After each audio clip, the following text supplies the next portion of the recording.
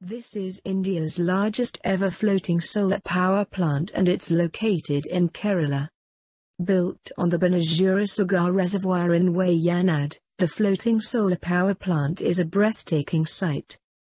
It was inaugurated on Monday by Kerala Electricity Minister Mani. China had commissioned the world's largest floating solar power plant. Some interesting facts about India's largest solar power plant. The Kerala State Electricity Board's floating solar power plant has been built at an approximate cost of Rs 9.25 crore. The work on this project commenced in March 2016. Floating on 6,000 square meters of water surface of the reservoir, the solar power plant is of 500 kWp. A total of 7.5 lakh units of power will be annually fed to the KSEB grid by this plant.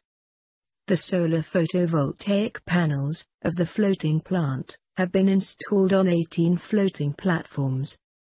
These platforms are made of ferrocement floaters with hollow insides.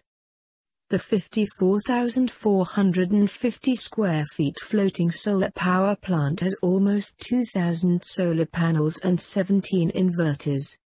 Each solar panel is said to have a capacity of 260 watts. Subscribe to our channel for